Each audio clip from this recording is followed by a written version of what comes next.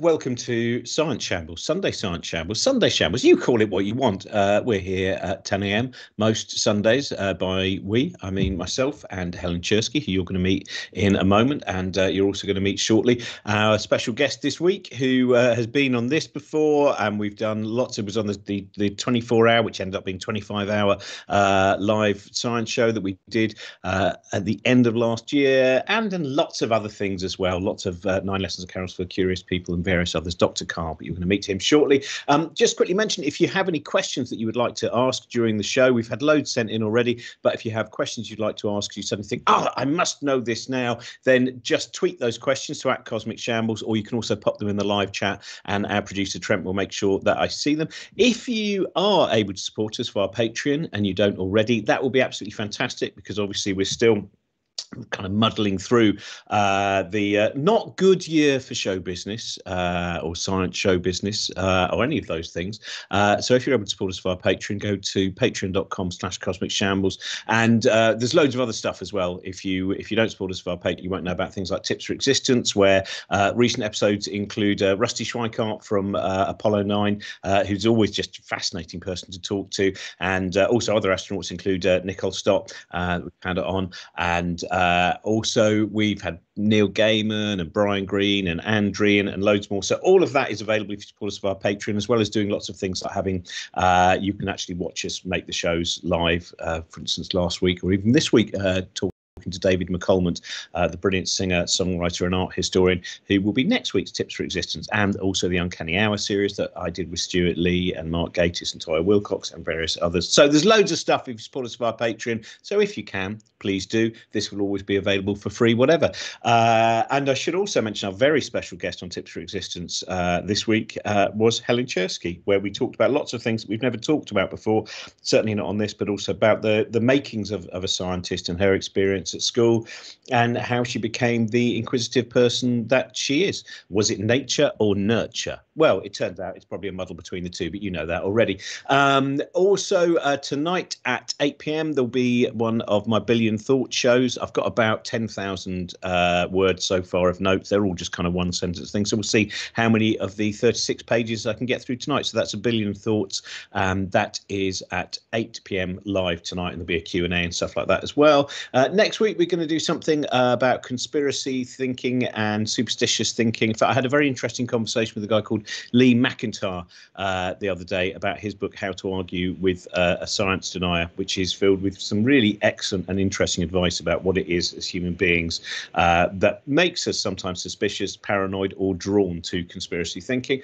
And um, that'll pretty much do it, I reckon. Helen Czerski, how are you? I'm doing very well. I was just thinking as you said that um, calling your new show a billion thoughts is one of the most intellectually honest things you've ever done. Not that you're not intellectually honest the rest of the time but it is the most accurate reflection of what's going on in your brain. I, I hope so. I, I keep scribbling. Off the, the, the notes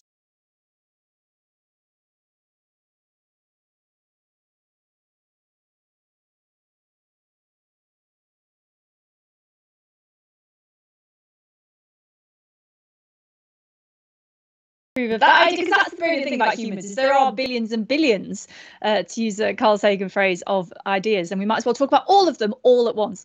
Um, so i have a this week in science which is not just for the first time in the how long have we been doing this now? It's been a long time. It's uh, nearly a year and a half now. Yes yeah, not far off 18 months yeah. Um, for the first time i don't just have an on this week in science I have on this day in science. It's the first time the day actually matches up because it was on the 15th of August in 1934 that William Beebe and uh, Otis Barton made their the one of the, first, like the their record breaking at the time deep sea dive in a bathysphere. Uh, so they went under the ocean surface in a metal sphere, and they'd been they'd been sort of experimenting for a few years, and a lot of people thought they were bonkers. Um, and they that was the one where they got to 922 feet, and this was in 1934. So that's a long way back. So this is you know this is 30 or 40 years before Jacques Cousteau, um, and they'd gone through this adventure of you know no one that at that time deep sea biologists were very much well you know we fish it out of a net with a net and then we know everything there is to know about it and Beebe was like well what if it swims funny? You know, what if it's actually doing something interesting while it's down there? Um, and so they they did a series of dives with this this steel sphere that was 40 centimeters thick on the edges, and the, these two, by all accounts, quite tall men sort of squeezed into it with two windows, a big searchlight looking out at all the fish in the ocean, and um, uh, and they that so the, their record breaking dive was um, this day in 1934, and the thing that was interesting about it is that they it was the first time a public fuss had been made about it. Like they was William Beebe certainly was seen as a showman. You know, he was he was one of those people. It, he would be on shambles probably today, but he was one of those characters in history who he wasn't just a scientist writing dry kind of papers. You know, he had he was out on the New York jazz scene and he was uh, you know partying all over the place and multiple marriages and a you know constantly evolving personal life and all of that kind of stuff. And at the same time as having this this fascination with the ocean, and so he was one of the the ones who made it human, like who brought the oceans to life. And in fact, he was the generation that then inspired people like Sylvia Earle and, and Jacques Cousteau, because the book that he wrote on the basis of the things he saw then showed other people there was something to look at. But it was really 30 or 40 years before then jacques cousteau did the next wave of um, public thing public sort of talking about it. And i just wanted to mention an article he wrote in 1932 for natural uh, national geographic and it was called a wanderer under the sea which I thought was just a fabulous title. Um, so yeah, so that's that's this week in science. It was William Beebe and Otis Barton getting down to 922 meters in their bathysphere, looking at the ocean for the first time. That's fantastic. Thank you very much, Helen. Um, I was just going to mention, by the way, I shambles at the beginning and uh, i think a lot of people listening to this will, or watching this will enjoy this week's book shambles. We've uh, had uh, the author Katrine Marçal on and uh, her book is uh, mother of invention how i good ideas get ignored in an economy built for men which is very interesting about how certain it starts off with the wheeled suitcase uh, which is a far more fascinating story than you might imagine and then gets into things like the electric car and i would really recommend you listen to that book shambles. Again that's freely available to to everyone. And uh, yeah, it was it was a fascinating book. Now on fascinating books, uh, some people write one fascinating book, some people do seven fascinating books, some people make it to ten, some people make it to forty-seven fascinating books. Uh, in many ways, the Bertrand Russell of his generation in terms of the number of books he's written. It's Dr. Karl. Hello, Karl, hello, Dr. Karl. Ahoy, Dr. Robin and Helen, Dr. Doc, real Dr. Helen. You've got a PhD, whereas I'm not a real doctor. Uh, and I'll just be honest with you, Dr. Robin, you'll say the nicest things. But that is for, uh, so the the latest book is because I don't think we've any shows where you haven't just finished writing a new book, and this is the little book of climate change science, which obviously is is going to be a very important book because this is still something which a lot of people skirt over or think I haven't got time for now, and we're frequently misled uh, in the mass media. So you know, I presume some of those things were the drive to write that book. Yes, uh, I wrote my first story on climate change in 1981 and I've been doing following it for a while. Um, and the good news is that we can both stop and reverse global warming. We can bring the rising carbon dioxide levels and the climate back down to what they were in the 20th century with the technology of today. We don't need new technology. All we need is politicians who see this as an imperative. And uh, the fossil fuel companies used to be the major supporters. This was a big surprise to me they were the major supporters of climate change science until 1990. They even voluntarily did not uh, open up the world's largest gas field because it would have become by itself the source of 1% of the entire planet's carbon dioxide emissions because the gas was 30% methane and 70. And then in 1990 they changed, and for the last 30 years they've been spending up to a billion dollars a year telling lots of lies about climate change. And it's kind of like that Bob Dylan song. They've thrown, they've hurled the worst fear that can ever be hurled, the fear to bring children into the world. And so on one hand, I do school shows all the time, and when I do you know, at least three a week, and when I do the primary school kids, and I ask them what they want, they say, and these are kids who are eight years old, and they say, I want things to be the way they were in the 20th century when, for example, we didn't have one fifth of all the forests in Australia burn. And the, so they're treating the world like their little toy, and they've embedded knowing that climate change was real, they've embedded fossil fuels everywhere. Um, knowing that they were doing a bad thing, just so that a few dozen companies could get fabulously wealthy. And this book finishes off with an optimistic thing. We can fix it. We just need different politicians. It's interesting because I know an Australian filmmaker, formerly actor Damon Gameau, who made the, uh, the movie, uh, and has also recently made a movie about the fact that, as you just said, all of the technology is is out there it just needs the wherewithal and it needs endeavor to, to to to be used. And and he said he had to make that film because he has young kids exactly as you were saying uh, the problem you know that they, they worry about these things. And he thought well i want to make a movie that's not just saying these are the problems. I want to say look the answers are there. And then once people know that i think that they will have an even greater i mean we've, we've talked about this a lot of times before but in the uk i do think you know there is a problem with the fact that the the the London Science Museum is sponsored by three different fossil fuel companies, and that seems to send out a very bad message for the time being. Yeah, they've very successfully embedded themselves everywhere, Where, and they offer many solutions, um, and every single solution involves burning more fossil fuel. And so we had uh, headlines in the papers recently that the best way to reduce global emissions was to open up more Australian coal mines. That is a very Australian argument, I have to say.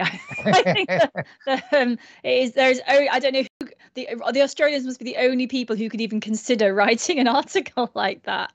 Um, everyone else is a bit more down on coal mines. Mm, well, like it's, it's historically been a much bigger part of your economy.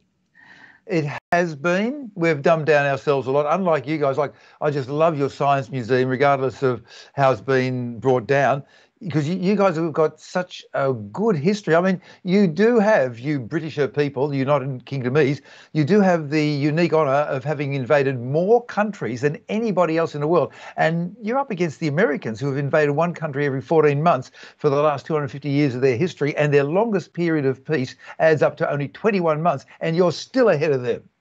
Do you know what? That's one of the great things, isn't it, about it? Always wanting to help into a country help. Yeah. maybe pick up some of the heavier minerals that have been weighing that country down bring them over here just to lighten their load. Oh yeah. Um, the uh, so that that book is out now isn't it? The uh, the little book of uh, climate science. Yeah and electronically as well so you can read it there. Fantastic. And what is your show and tell today? Well, it's an intellectual show and tell. I've been having fun with TikTok. Now, the thing about TikTok that fascinates me is that one third of the people are under the age of 14 and two thirds are female.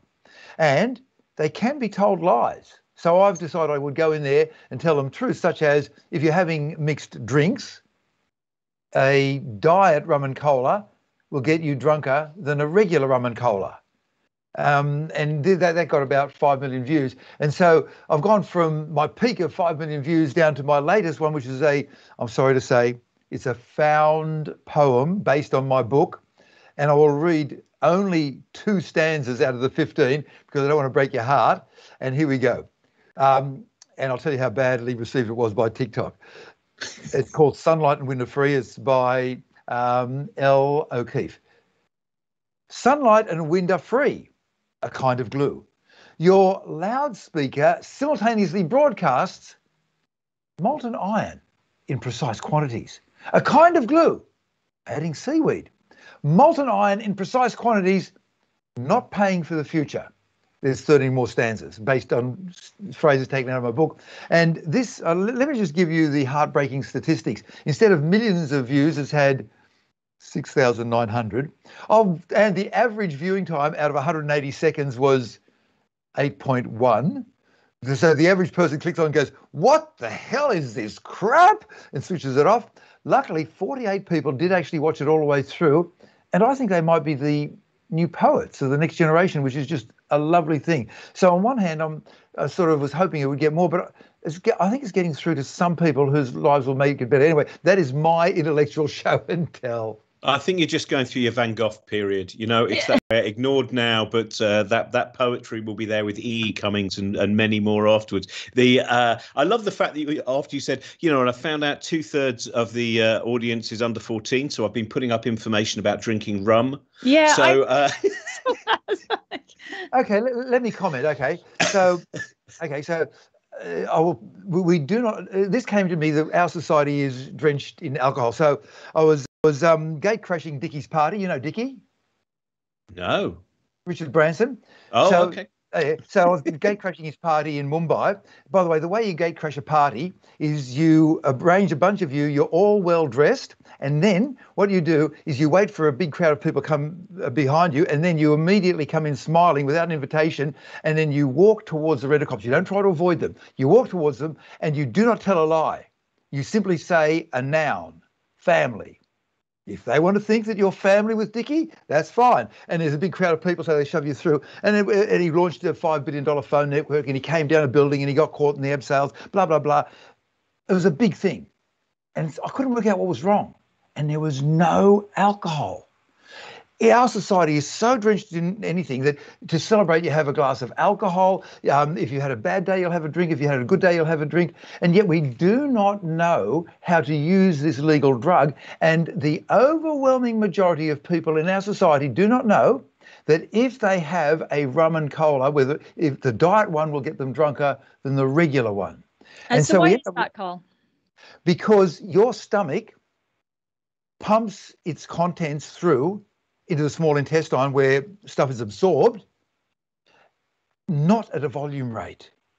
It's pumped through at an energy rate. And how the heck does a stomach know? Does a stomach know to pump out three to four kilocalories per minute? Nobody knows, but it does it.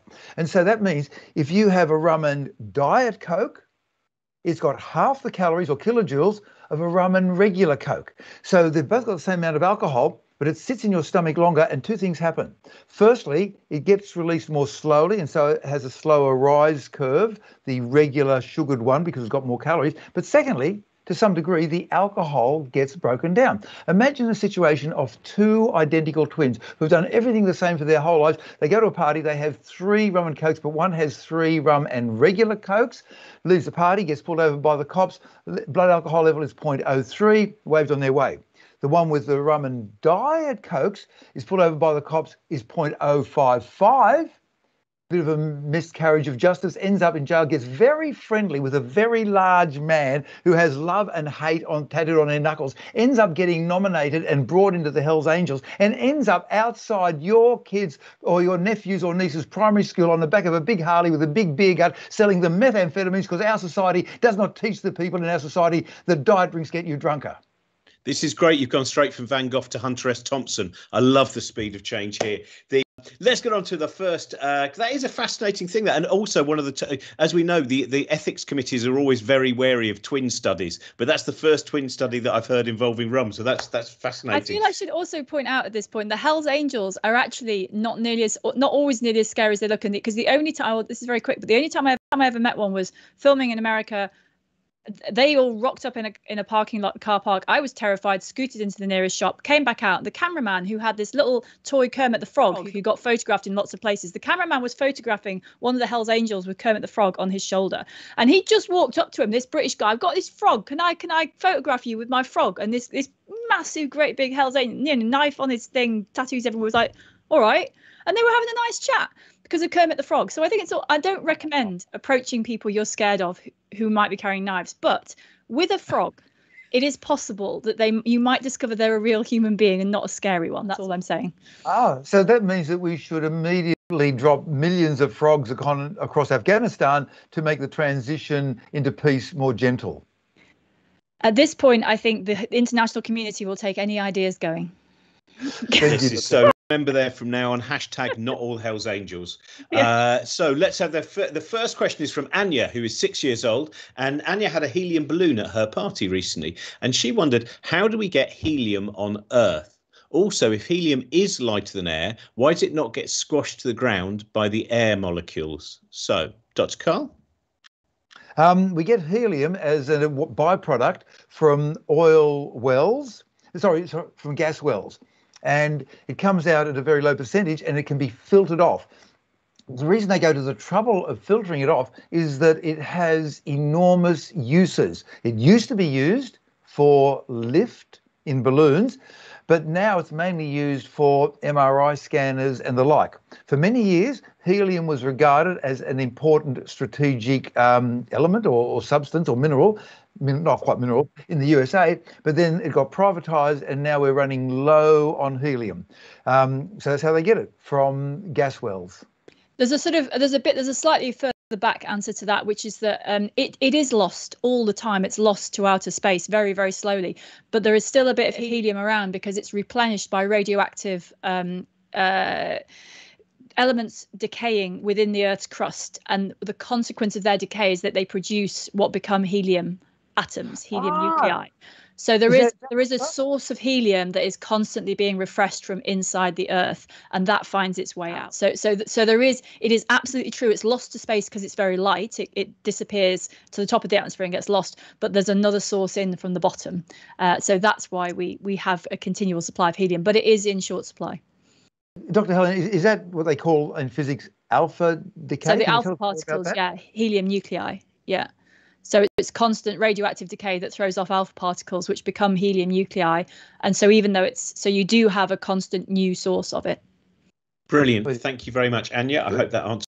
Uh, the next question is from I iPatroni, who says, uh, I know this, it starts off by saying, I know this is probably really basic. And I say to everyone watching this, don't worry about whatever your question is. Don't think, oh, that's probably really basic. Because actually, a lot of very basic questions are ones that we never learn at school. And we then pass through our life then being too worried to ask that question because we think we should know it. Don't be scared of whatever question you have to ask. If it comes from a place of curiosity, we are happy to try and answer. Well, I say we, Helen and Dr. Karl are happy to try and answer it. And I sit most of these out. Uh, but iPatroni would like to know, says, uh, I don't understand how it's possible to have an electric field in a vacuum. Helen. So electric so fields are a slightly weird concept in a way because what what it what it means when a physicist says a field is that it's something that's got a number at every position in space. So if I was to take the temperature of the room, for example, maybe it's a bit cooler near the window and warmer near the door. At every point in space, there's a measurement of temperature, and that is a field. So with an electric field, um, there is because of the way space works there is the potential for an electric field but it could be zero anywhere but the point is it's got a number everywhere in space everywhere you go you can say what is the electric field here? Not is the one, but what is it? It might be zero, but it's still there. So basically, you can imagine um, empty space with genuinely no other atoms in it as um, a sort of background level of zeros. But if you generate a ripple in it on one side, some of those zeros tick up. Um, and that's your electric wave going past that you get a little positive wave that goes to a negative wave and so you have this movement through space of positives and negatives where there were previously zeros. And there's that, you can have that anywhere in space. So you don't need any atoms to have an electric field at all. All you have is that um, once you've had a bit of a kick, which gives you a positive, it can be followed by a bit of a negative, and then you've got a wave that moves. So that's what light is. That's light, and you need magnetism as well. So you have both electric and magnetic fields working together. So you don't actually need matter to have uh, those values to have the, that to have a number like that everywhere in space so you can obviously add atoms in and then your waves that are, your electric waves your waves of electric field that are going through or your photons can into they can nudge that matter they can bump into it they can scatter off it they can completely ignore it. Um, but they're sort of traveling through the background. It's a bit like if you imagine a piece of fabric that's got objects on it, and you wait, you sort of rip, put a ripple in the fabric, and the ripple travels underneath all the objects. Well, the objects are like the matter; they're still there. The ripples are kind of going through and around them, but the ripples are in the background state, not not part of the matter itself. It is it is quite a tricky philosophical question that gets into some quite deep things in physics, um, but you don't need matter to have a field of any kind. Dr. Karl, to that? Um, Helen, Dr. Helen, does a field, besides having a numerical quantity at any point in space, which was a gorgeous explanation, does it have to have a direction as well? It doesn't have to have, but it can have. So a temperature field is a scalar field. It just has a value. But a vector field, which an electromagnetic field is, uh, and vector is just a word for a little arrow in space. So then it has a direction as, as well. well. So electro electric fields and magnetic fields, electromagnetic fields, always have a direction as well as a value. Um, which is why you can have polarization because as an electric field travels, it can travel with the wiggles one way, or the arrow is pointing you know, left and right, or it can travel with the arrows pointing up and down. So yes, you can have a field which has a direction, but not all of them do. Brilliant. I'm going to take Steve's question now. This to you, first of all, Dr. Karl. Steve wonders, he says, sometimes out of the corner of my eye, some screens appear to flicker, but when I look directly at them, they don't. Do rods and cones in different places in the eye, eye, sorry, fire and reset at different rates? Or Correct. The uh, flicker fusion rate is the term you're looking for. For, and let's forget the rod. So in your eye, roughly a globe, roughly 25 millimeters, an inch, a golf ball in diameter, you have in each eyeball a layer called the retina, which is 0.3 of a millimeter thick, and it covers most of the inside. In the daytime, you almost certainly use just the cones, and the way I remember it is C for cone, C for colour, and they operate over the color band from 400 to 700 nanometers. And we have, most of us, three different types of cones that are sensitive at different uh, uh, wavelengths. The blue at 440 nanometers, the green at 525, the red at 575. Forget the rods, they're at night time. Now, they have different, and here comes the term flicker fusion rate. If I show you one frame of my holiday photos um, uh, per second, you go, "Th- th- I'm seeing flickering. But if I get up to about 25, you see it as a continuous thing. Now, in the center of your view, I forget the exact number, but I think it's sort of like about 20 or so, 18 or 20. In the center of your field of view, once you get up to about 18 or 20 or, or some number around there, the individual still pictures become a continuous, seamless thing. But the flicker fusion rate is lower on the corner of your eye. And so in New York, when I was traveling on the subway, I found, and by the way, on the subway, uh, I thought, that's weird. They just look like Edison screws. What's to stop somebody from stealing them? And so I asked the person next to me, and he said, try it. And I did. They put them on with a special counterclockwise thread so they won't fit into the screws that you have at home. So I was looking at these things, and they're running on a lower frequency, and looking straight at them, they didn't flicker, but out of the corner of my eye, they did. You are totally correct, Steve. Your flicker fusion rate is lower on the periphery of your field of view. Brilliant. You said there about frames per second. Films, uh, 24 frames per second, uh, I think. Are, is used that to be, that used to be the standard yeah, Yeah. so, so yeah uh, they've, they've actually increased increased it now so the higher the higher um, quality formats do have a higher rate but i think it's a very small number of people that can tell the difference There's Ah, also a very odd thing about the fact that Yeah. when on television, they would run, uh, I think, at 25, uh, the equivalent of 25 frames per second. So, because I remember when I was a kid and I was like taping things off the telly and I would look up the length of a film and then I would go, oh, hang on a minute. Actually, this is a 100 minute film, but that means it'll run at 95 minutes, I think, when it's on television. oh That- really That's, I Yeah. didn't know the recording and the broadcasting were different Yeah, it's so so it's actually slightly uh, slightly faster, or used to be. I don't know if that's still true because obviously the technology has changed a great deal since when I was young. Um, sorry, Dr. Karl, did you want to add something? Yeah, so they would they would uh, shoot them at 24, and in America, their frequency is 30 frames per second on their electrical grid. So everything was shot at 24, played back at 24.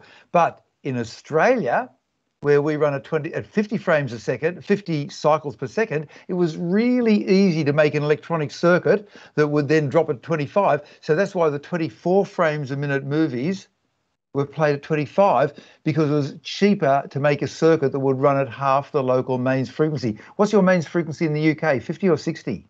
Oh, I don't know, Helen. uh oh you've caught me there i think it's i think it's 50 here isn't it i work so much with american both american and british systems uh i think it's 50 hertz yeah Hmm. in the uk So that's why you had the 24 25 mismatch because it was so cheap just simply to halve the frequency and then use that to run your um, movie projector. So for everyone out there who's still recording things off television on VHS or Betamax, we've given you a useful piece of advice. Although to anyone who's still recording stuff onto VHS, you deserve a medal for maintaining uh, classic technology. I feel.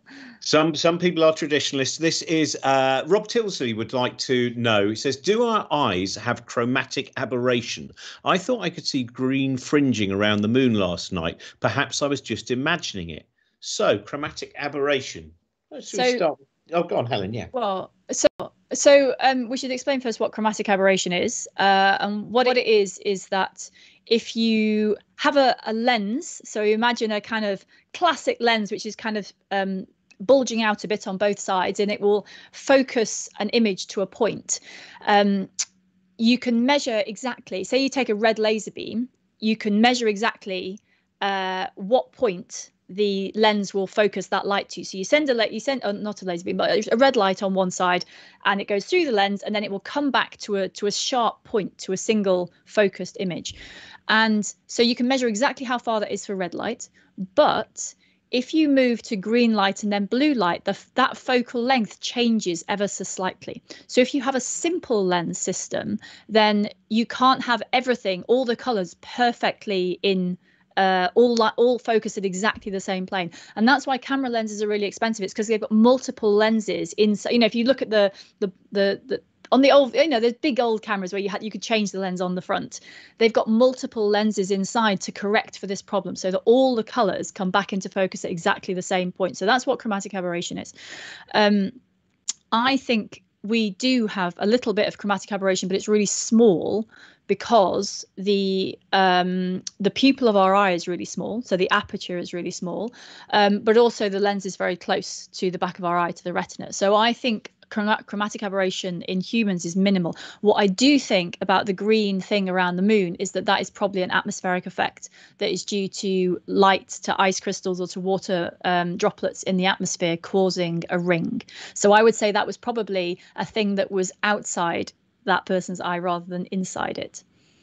The thing that I find most disappointing about uh, and uh, our perception of it was finding out that it basically fades with age. And I know obviously we all might have different experiences of what we see when we see red, but apparently, you know, when my son, who's 13, when he sees red, uh, he will be seeing a, a, a deeper red or a more vibrant red than the red that I I see.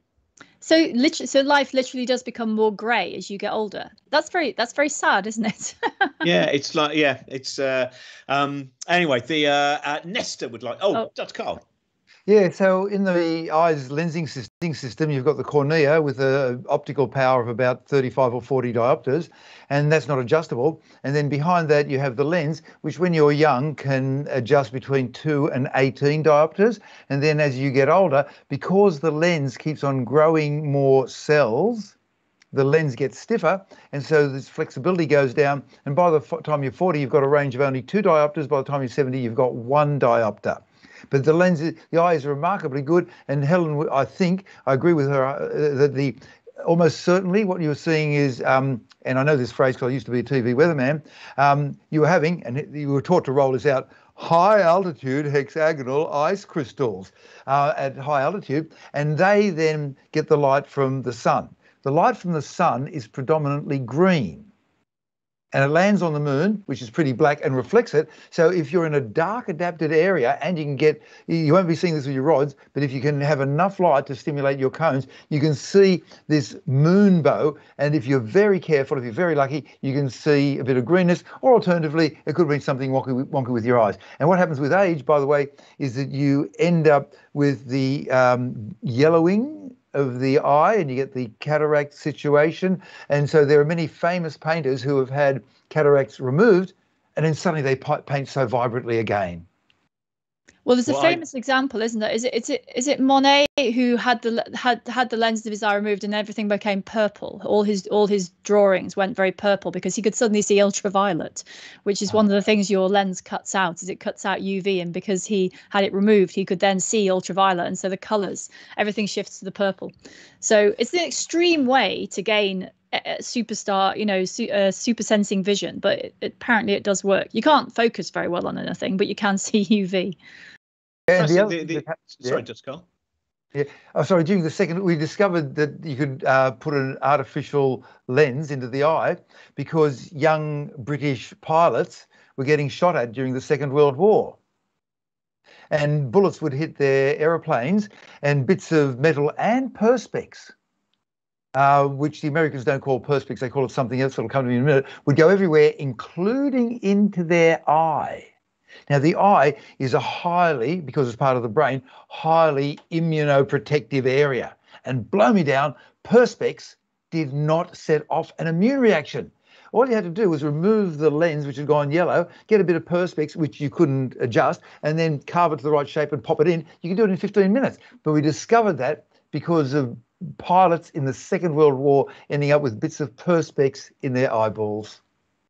Thank you so much for that, Dr. Karl. You are watching Shambles uh, with myself, Helen Czerski, and Dr. Karl. Uh, if you're able to, uh, please support us on Patreon, patreon.com slash Cosmic Shambles. We've got loads of new things uh, coming up. Go to our Cosmic Shambles site and get some kind of sense of uh, the things that we are creating. And uh, now we're going to have a question from Nesta. Nesta would like to know which is the more realistic way of producing clean energy in the near future, considering the current environmental crisis? Dr. Karl. Uh, very, very easy. Go to the website drawdown.org. And there you can download a 20 megabyte document with 110 pages, and it runs through the options. It has involved with it. You might have run across to Professor Hella, Professor Hayhoe, Hayhoe, um, and she's a climate scientist who is also a Republican and married to a minister of religion in Texas and so she can speak the language and she's uh, so there's just a whole uh, thing a bunch of things we can do. Overwhelmingly we can get all the electricity we need. That's about one third of the world's carbon emissions come from electricity and heat generation. We can get them from renewables in 10 years. And that will come from action at a federal level. And the best example is the 7th of december 1941 when pearl harbor got bombed. And from the Americans moved from having made 3,000 planes in the last half century to making 300,000 planes in the next four years. And so, from the American point of view, their part of the war was won as much in the machine shop as with the machine gun. The point is, renewables will do everything we need if we have a worldwide grid. Uh, well, so on the specifics then, so renewables at the moment in the UK, 41% of our uh, electric electricity generation this year is already renewables. The, so the thing about renewables is that there is no one best technology, and this is something the world's going to have to get used to, that there isn't a golden bullet, oh, we just do this. Um, since nuclear fusion hasn't yet been made scalable, um, it's there's going to be different solutions in different places. So it's going to become very dependent on where you are, and there is no this is best. Um, in the UK, see, in the UK, what renewables are really good at is um, they produce a lot of energy, but what they don't do is something you can turn on and off at will. So what you need, actually, the big thing that is coming down the line is storage solutions. Because what you want is when you've got a wind turbine, you want to be collecting that energy all the time, even if no one needs it at that point. And so um, the energy su- supply that you're going to need is going to be paired with a storage solution. So if you've got a wind farm, maybe you'll turn that into green hydrogen, maybe you'll put it in a battery, maybe you'll put it into a sort of big rotating thing that stores rotational energy. Um, so renewables can do the job, but only if you have what we call baseload power, which is the absolute backup that is always there. And at the moment, that's what the fossil fuels are doing that the renewables can't do. But if we improve storage technologies, uh, then what, however you get your energy, you can store it up when it's plentiful and then you can use it as your baseload when it's not. Um, and this is the reason that there is a debate about nuclear power because nuclear power is very good as a baseload. It obviously has other downsides. It doesn't emit carbon. So there's a there's, there is a debate about how you view nuclear power in this thing. But basically, wind and solar will get us a long, long way. And then there are other local solutions uh, depending on where you are, depending on how remote you are and what the weather is and what the climate is where you're like. Um, but wind and solar can do a huge amount of the heavy lifting here but we do need the storage solutions to go with it. And they're being built. It's all all these technologies are on the way, and we can get to some of them very very quickly. Um, so yes, but but wind and solar are going to do the majority of the heavy lifting. I'm going to go straight through the next question now. This is from Blue Mountains Atheist, uh, Dr. Karl, and this I think is probably one of the the questions that many many atheists have been asking in the Blue Mountains for some time now. And that question is, where do farts go when you hold them in? Um, they give you bad breath. So it is not yet okay. So firstly, the ancient Romans had a thing called a diverticulum. So they had these long straight roads, and every now and then there was a turn off to one side, and you'd go down this long pathway, and then at the end would be a roundabout, and there would be everything that you needed to keep you provided for the next day food and drink and horses supply and food and then you'd go on so you'd go into this outpouching called a diverticulum. This name is also used for a condition in the gut where you get a bulge coming out the side. And it was thought that holding in the farts could cause diverticula, the plural. And at the moment, the thinking is probably not, but the gas does cross the membranes and go into your bloodstream, and to a minor degree can cause some degree of bad breath.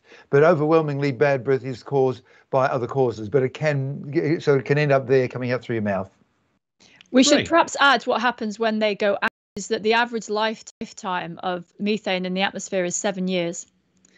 So, um, you know, it's a natural human function, but um, every time you've done it for the last seven years, statistically speaking, still in the atmosphere somewhere. It's not a hero's death, though, is it? I mean, it's not going to. Even if you do hold them in, for for the sake of the planet, somehow that's the story. When mapped that, it's going to be written about very differently. um, Linda Scotty, who's aged eight, hello, uh, Linda. Uh, she would like to know: Could a static shock ever be so severe to actually cause you harm, Dr. Karl.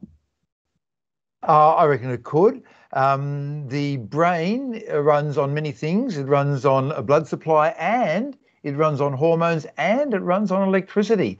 And I'm reckoning that it could. The way that in general that electricity kills you is that you have electricity coming through many times per second.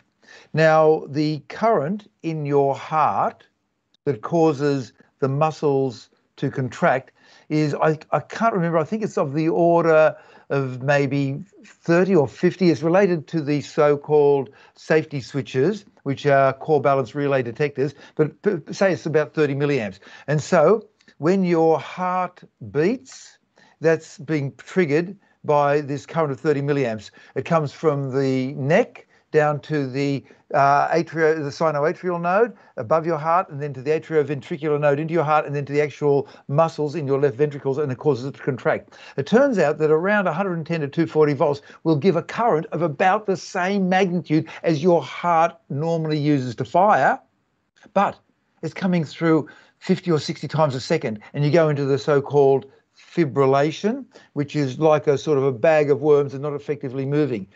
Um, uh, look, I don't know, Helen. I'm guessing that a single shock could set you off. And, and the reason I'm thinking this is that we keep on having cases of healthy young athletes, male and female, who suddenly drop dead. And what we are working out backwards is they have a tendency to go into fibrillation anyway, and I'm thinking that that could cause problems. Helen, help me on this one. So I don't. I think the athletes things are separate. Uh, that's that's with the internal workings of the heart. The thing about static electricity is that in order to have it, so there's two things here which which we should probably clarify. Which is static electricity is electricity you know they're, they're kind of electrons um, or the absence of electrons that's built up on the surface and you touch it and suddenly all the electrons rush to wherever they weren't but you can only move as many electrons as there were to start with so the so the so if you touch you know if you have a um if you're charged one of those kind of metal balls you get at science fairs and it's charged up and you touch it and you get a spike the only the, the maximum that can move is what was built up on it to start with. And it's really hard it's really really hard to build up loads of electrons in a static place because they tend to leak away into the atmosphere. So actually most static shocks you come across are probably safe purely because it's almost it's so unlikely that you would come up against something which has built up enough charge to do you any damage. You do the most extreme examples you get are in really dry environments. So I used to live in um, Rhode Island in America, and in the winter when it was super dry and super cold, touching my car because that was the only time I've ever owned a car in America, um, was that was what would generate a shock, and it's because charge could build up, but it took a really extreme. Uh, environment for that to happen. So the other thing that is separate, which is separate to the question, but we should probably just clarify, is that you can also have a continual supply. So so if you stick your finger in a plug, as Karl was saying, you get a positive and a negative and a positive and a negative, and it's oscillating backwards and forwards. But in theory, you could have a battery which just keeps dumping charge on you, and that could probably do a bit more damage if there was enough of it. Um, if the if it could if it produced a high enough current, it's not the voltage, it's the current. So static electricity is unlikely to be able to build up enough to do any harm unless you're really trying, basically. Ah, so Helen, what about the military industrial situation of, and you would know about this more than me, a Van de Graaff generator? So Van de Graaff generators are still, it's only what you can build up on the outside of the sphere. So Ah. Van de Graaff generators are those things that you probably saw at school where there's a kind of little belt that runs below and there's this sort of metal helmet at the top and the belt runs and then it, every so often if you touch the metal thing it, you get you get a shock or you can generate a spark. But they can only build up to a certain amount. So basically that belt runs and there's friction and it, it adds electrons and it adds electrons but then they start leaking away. And at some point the rate at which they're added is equal to the rate at which they're leaking away into the air. So even a van de graaff generator can only generate a certain amount. It, it's only as many electrons as it's got on it and and once you can't put any more there then it doesn't go any higher. So that's the maximum you can get. And it, and it will all be discharged in a single spike now, this is this is an interesting one because it's something I've, I've been thinking about quite a lot as well. This is from Scruffy45. He says, uh, This might be a question without an answer. Whenever I finish something like a big jar of pasta sauce, I rinse and wash it out thoroughly so it can be recycled. But lately, I've been thinking, is the amount of water used to wash out the jar just as unsustainable as if I just threw the jar straight into the trash? And so that's uh, because sometimes, especially some of the very small items that you might be recycling and the effort involved and the power required, and then the whole kind of landfill issue. I don't know who, Helen, do, or, or Dr. Karl, so do you want to? Oh, sorry, did, go on, I Helen. Did, well, I did read something on, on half of this because half of this is whether you should wash it, and the other half of it is how much energy does it take to wash it. And I, I definitely did read an article recently that said that washing it definitely makes it is makes it easier at the other end when they're recycling it it is definitely it uses less energy at the other end if it's clean going in. So so there's also the consideration that if you if what goes into the recycling process is clean they need less water to clean it off. But i don't know about the balance. Maybe maybe dr. Karl does. I think it would vary depending on uh, your local conditions. Certainly, I've actually been into the recycling centres and they ask me to get the message out please clean it, don't leave it stinky. And stinky is one thing, and difficulty in getting it clean. And if you can't get it clean on the first couple of goes, they just chuck it anyway. So that's good. And it all depends, secondly, on your local water. Now, in my case, I've got an underground swimming pool at my place, about 40, 50,000 litres. And with where I happen to be, if I were allowed to use my water, which I have cleaned with filters on the way in and filters on the way out and ultraviolet, and the local regulations do not allow me to use that for anything except for the garden and for toilets. But if I were allowed to use that, I could go entirely off the grid with regard to using water. And so in that case, there would be no cost. So it all depends upon your local water supply. You guys in the United Kingdom, you got water to burn. Australia, we're as dry as a bone. We're the driest inhabited continent on Earth. Thank you. Well, this is uh, now this is on vaccines. We were mentioning this before we actually started recording today. Um, Amanda would like to know. She says, as vaccine uptake is plateauing in the UK and vaccine hesitancy, anti-vax views seem to be worryingly high in both the US and Australia. It's very interesting seeing certainly the US how state-bound that is. I mean, there's huge variety depending on on on the state. Uh, what do you think can be done to break through to a higher percentage of people? I'll start with you, Dr. Karl, because uh, I know the, the situation seems from from our perspective to have changed a great deal in in Australia in the last couple of months, or certainly the last month. Yeah, so firstly, um, the people who um, don't take the vaccines, the medical people have a name for them. We call them the control group. uh, that's a bit cruel. Um, secondly, it depends enormously on your background knowledge and your local group and your bigger society. So if, for example, you happen to belong to the North Woy Woy, that is the name of a town in Australia, the North Woy Woy Sewing Club, and everybody there is happy with most of the times tables, but they don't accept the seven times tables. Six times is fine, eight times is fine, but not seven times. You'll end up drifting into their belief system. And then you go to the big scale of what the mass media is putting at you. And so in Australia, we've been having a combination, well, firstly with regard to the Murdoch press in Australia, they control 70% of the newsprint eyes. Uh, and for the last most of the year, there have been in glory in, in headlines about how dangerous and how bad these vac- vaccines are, and coming out with rather clever puns like Astra, as in destroyed, and uh, I won't go through all the clever puns. And the vaccine hesitancy was up at around 30% consistently. And then suddenly, the order came through from God on high, and across Australia, they started using the same logo and came out with the same message of get vaccinated. And within three weeks, the hesitancy had dropped to 22%.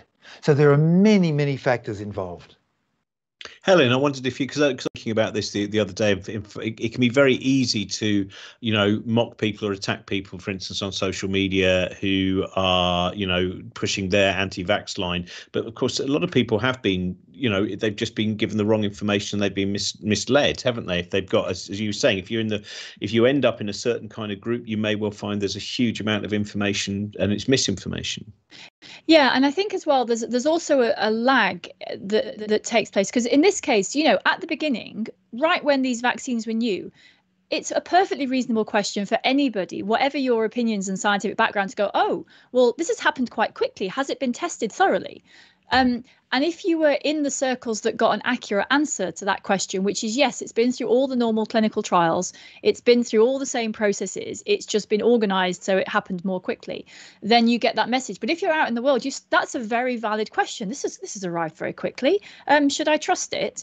And and if you haven't got those in between stages, um, you you don't ever catch up. And I think that the other thing is that that it is a reasonable question and if you have a reasonable you, what you want is to connect up the reasonable answers with the reasonable questions. And that's what the internet has not been doing. It's like you've got a reasonable question and if all you get is kind of pushing and aggression and oh you're you're an idiot well you've still got your reasonable question um, and nobody's answered it. So why should you why should you sort of shift your thinking on that? So i think a lot of it as, as karl said is communication. And um, and the the thing that is interesting, and it's very sad, but it's interesting. It's going to be interesting in America, is that you know we're already hearing cases of famous radio hosts who'd been anti-vaxxers who are who have either had COVID very badly or died. But the start to use, I mean, I, I, feel that people will start to see the effects in their friends and family. It's one thing when someone's telling you that there's a, there's a disease on the other side of the world and you should have this vaccine because we're telling you you should.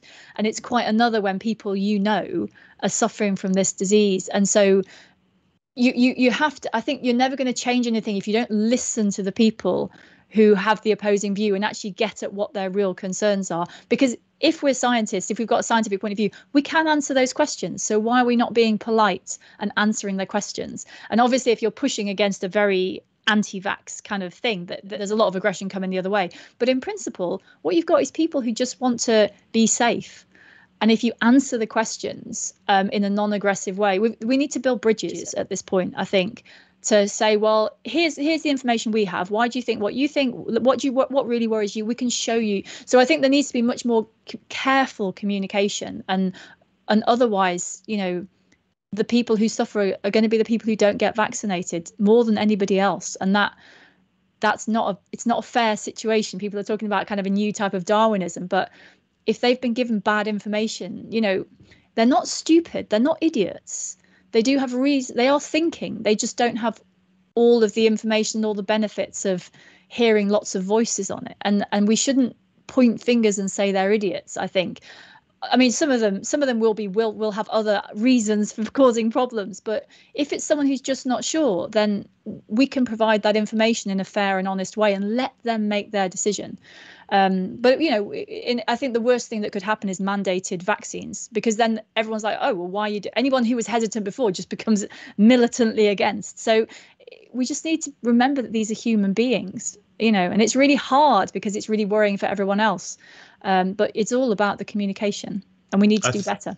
I heard a good, there was a good phrase where someone said that all the research actually shows that uh, people well be evidence resistant, but it isn't true that people become evidence immune unless yeah. obviously you have a you know that that that that dogmatism which exists and i think that's one of the things i mean i think one of the most reprehensible things is to see various news broadcasters columnists etc who are peddling an anti-vax line while at the same time have been vaccinated and that's where you yeah. Uh, i mean that that bit of and, and i think i don't know if either of you have rules in terms of when you are sometimes discussing things on twitter or whatever social media thing where because i find that some people you can just see you go they've been given the wrong information and you might tweet them three or four different articles from from reliable sources, and then normally by about the fifth tweet you find out if you've got a dogmatist and that the resistance is perhaps too great. And I don't know if you you well, find how far.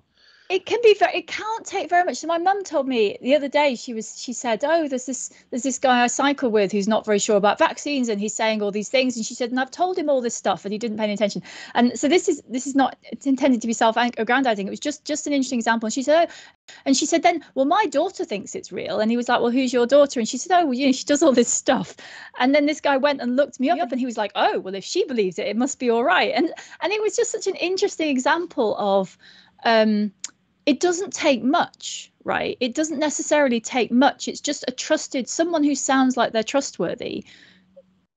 Then you know you've then you've got something you can believe in, and it's not just us and them. And I think that that's why and there have been cases where this has been you know oh this person you know and i'm not a vaccine expert i do i can read scientific papers but you know and they've said well this person, you know, that's why there's been all these faces, right? All these different doctors, all these different respiratory cardiology, you know, respiratory consultants. They're all these are all trusted people. And if you hear it from a trusted person, and it's just trusted people are different for everybody. And I think the more trusted people, whatever that is you have out there with the same message, the more you break these barriers down. So it's more about the trusted person than the message quite a lot of the time, I think. And as you said as well, it's not the, the intelligence thing. Uh, uh, there's been a lot in the in the press and in the media this week about the the man who was kind of filming himself saying, "I'm not going to take the the anti-vax and now I've actually got COVID and I'm glad the antibodies are going on." And then he died. He died in 11 days, and his wife's been appearing on various things saying, "I believed him." And you know, he was someone who had had a degree from Cambridge. And the other side of it, sometimes you say it's because someone's stupid, and sometimes it's because someone goes, "I'm so intelligent." Yeah. I and and both sorry, you know, it's it's it's the more uh, intelligent people are better at picking the evidence that supports their pre-existing view. That's what humans are really good at. Is they're really good at finding the thing that proves they were right after all. Dr. Karl. Um, with regard to young fit people dying, uh, we've had a few cases in Australia, and this this fits in with something that I learned when I used to work in the emergency departments. Now, in my case, I'm over the age of 25 and by a bit. And if I were to get attacked by some sort of nasty germ, I'd pretty I'd show it pretty soon, and I don't have that much resilience. And I'd be getting sick, and people would be saying, "Mate, it's off to hospital for you, intensive care." But if you're young and fit, and this can apply to extreme blood loss, say trauma, car accident, you're bleeding internally, or being attacked by a disease, the resilience of somebody in their 20s is enormous. And they can just be going downhill very quickly, but superficially they're really good until they get overwhelmed by the massive viral load or blood loss, and then they fall off in hours. And we had a case in Australia where somebody was and it was well documented. It was in their 20s and they got infected and they got visited by a community nurse at home while isolating every day. And on day 13, they got visited and they were, were fine. They, they were a bit off colour, you know, just not perfect. And they were dead within two hours. Whereas with me, I would have shown it a lot earlier with not that degree of resilience. So being young doesn't protect you from uh, a, a massive viral load. Thank you, Dr. Karl. We'll, uh, well, we're going to stay on, on health actually, which is uh, Dean would like to know why do you get pain around your body when you have colds or flu? Um, you're getting that's the difference between between a, a cold and a flu. A cold tends to be localized mainly to the upper respiratory tract. And you do get some degree of sensation there. But the flu virus is quite different and travels through your entire body and then gets attacked by your antibodies everywhere. And so it is classic that the cold will just give you a sniffly nose and you're feeling unwell. But if you've got sore muscles and joints, that means that the virus is in those areas and is being attacked by your antibodies. And then you get local effects such as inflammation. Now, for the average person, inflammation means uh, a bit red, maybe, maybe, maybe swollen. In medical school, it's three weeks. And you come out the other end thinking, oh my God, if you want to scare yourself, look up inflammation in Wikipedia. And when you get to the end of it, think, okay, that's what's happening around my body. No wonder I've got pain everywhere. Brilliant, thank you. This is uh, where right. We're to. Uh, I'll start with you on this, Helen, because it's uh, it's more poo chat because Gemma has felt that we've really been leaving facts. that I've got a great poo fact. We'll do this, but I've got I discovered a great poo thing this week. Anyway, carry on. Just remembered. Well, Gemma it. would like to know. So it's been a long time since there's been any poo chat on a Sunday. I reckon it's at least three weeks. Um, so I want to know why different mammals, regardless of size, have different sized poo. Kangaroos are huge, but do lots of little pellets. Dogs do human-sized poo. Again, that does actually depend on on on the dog. Uh, but cows do massive pats. Is it all just diet, Helen? Um, well, so there is there is a there are two things going on. One of them is the amount of whatever your food type is, it comes with some other stuff. Like there's the nutrients you want, and then there's other things around it that might be cellulose. They might, which is the sort of woody bit of plants. Um, it might be uh, just stuff your body can't use. It might be bits of bone or other things you've swallowed, and um, so all of that is going to be what's left over. So the first thing is that if you're a herbivore, for example, you need to eat a lot because grass is very nutrient poor, and so you're likely to have more coming out the other end because you you can't use a, such a high proportion of what you've got. Um, and then the size of the animal will make a difference. I mean, if a dormouse produced anything the size of a cow pat, I think everybody would worry. Um, so I think the size of the animal does matter, but their diet, that, that how nutrient rich their diet is, is probably the critical uh, thing. And just on the topic of kangaroos, I will add my favourite poo p- factoid from this week, which is which I read uh, I read in a book, um, and uh, which I can't recommend yet, but I will soon. Um, and it and what this book says is that when and Dr. Karl probably knows about this when cattle were first farmed in Australia. Um, they were brought to Australia from other countries, and because Australia is a dry country, as we've heard, kangaroos and mammals in Australia produce very dry poo, but cattle produced very wet, sloppy poo. So when the cattle first turned up, the insects that normally process the poo and eat it and recycle it couldn't didn't know what this wet, sloppy stuff was, so they just didn't do anything with it. So for the first few years of cattle in Australia, the cow poo just built up because the local recycling system was just, what is this? We don't know. And there's some statistic that um, at some point the air the area of Australia that was becoming newly covered in poo every year was two square kilometers just because the insects could not just didn't know what this was. And then somebody imported an insect that could process the wet sloppy poo. And then Australia's poo problem went away. But I thought that was the most brilliant like example of why we should care about insects because they recycle things and all the poo will build up if you don't have the insects that can process it and you need the insects that are that can deal with your particular local style of problem. So yes, that's my factoid for the week. Dr. Karl, further poo footnotes? Uh, yeah, it was the uh, dung beetle uh, brought in from Africa uh, and was brought in by a Hungarian scientist. And so, for the early days, the um, dung beetles were shifted around the place and fed uh, cattle poo, and it was given the name Meals on Wheels because they'd bring them around their, their dog poo, their, their cattle poo. Um, it is. It has been claimed that all mammals poop in 12 seconds, and there was a paper, and it turned out to be roughly two thirds of animals would poo between six and 25 seconds, which is not quite as good. But by the way, the article was called Hydrodynamics of Defecation, published by the Royal Society of Chemistry in one of their journals called, rather coyly, Soft Matter. And in Australia, we have the only known animal that has cuboidal poos. Uh, does about 90 of them each night. They're roughly an inch or 25 millimetres across. It's the wombat. And people say, oh, they're uh, marking out their territory because the cuboidal poos won't roll away. But there are many animals that mark their territory with their feces, and yet only one has cuboidal poos. It's a mystery. I would highly recommend, obviously, for anyone know the children's book, uh, the story of the little mole who knew it was none of his business, which is about a mole trying to find who's pooed on their head.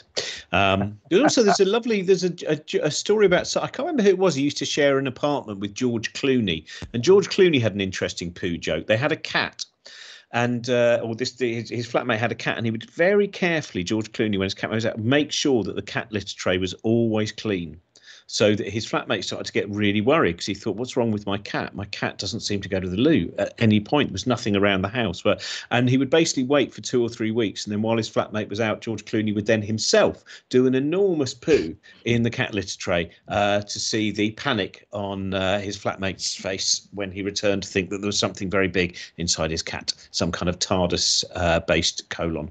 Um, anyway, so there we go. We don't normally end on that. There's lots of questions that we didn't get to, but quite a few of them were about bubbles. So we will be able to get to those uh, next time. Uh, reminder that Dr. Karl's new book is uh, out now uh, about the little book of climate science, which uh, I always recommend Dr. Karl's books. They're, they're packed with really useful information and information that will take you off to lots of other places as well. They're very often kind of just part of a, of a great journey.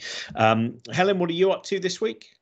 Oh, um, well, so I I am recording some radio things and some fully charged things. I am finally getting to talk about tire particulates and the pollution caused by uh, tires wearing down. So I'll I'll be filming that this coming week. So it should be out in a couple of weeks. But that I'm so I've been itching to talk about this topic for so long, and it's taken a while for various reasons.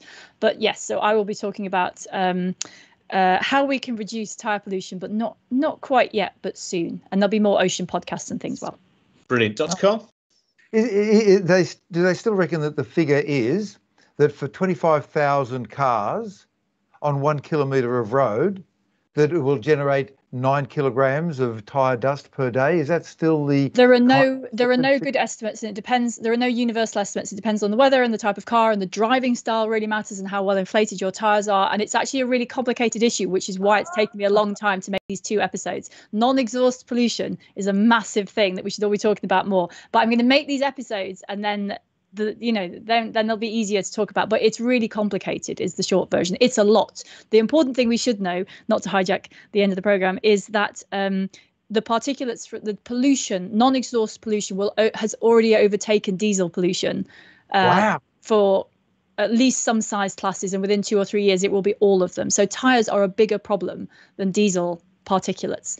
Um, so wow. yes but more about that soon when when i've uh, got these episodes out Brilliant. I'm going to go off and I'm going to be doing the talking book of my next book, uh, The Importance of Being Interested. That's what I'm recording this week. And the, uh, that book is going to be available in October. And I'm doing a 100 bookshop tour, uh, starting at the, the bookshop of my childhood. I'm going to be signing books in Chorleywood Bookshop on uh, the 7th of October. And then I'm off to uh, Glasgow and Manchester and Penzance and Swansea and Margate and uh, about 94 other destinations. have a wonderful week. And thank you as usual, to our producer Trent Burton, and I'll be back with the A Billion Thoughts show at 8 p.m. tonight, which will be live and also have a Q&A. Thanks. Bye-bye. Bye.